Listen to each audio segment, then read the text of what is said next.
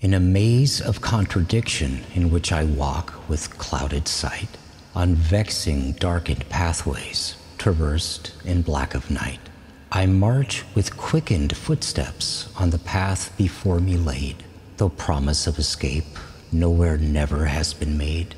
Every step a calculation of danger lurking never seen, over shadows ever present, both in waking and in dreams trudging onward without compass in this serpentine construction. No threat I see before me, yet I'm certain that destruction awaits somewhere around a corner, either looming or delayed, as certain as the bell toll for the body freshly laid.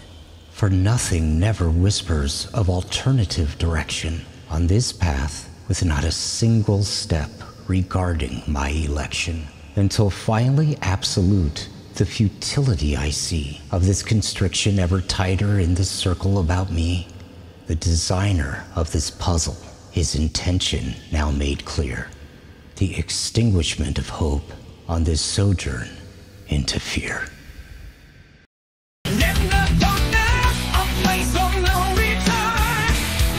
Lost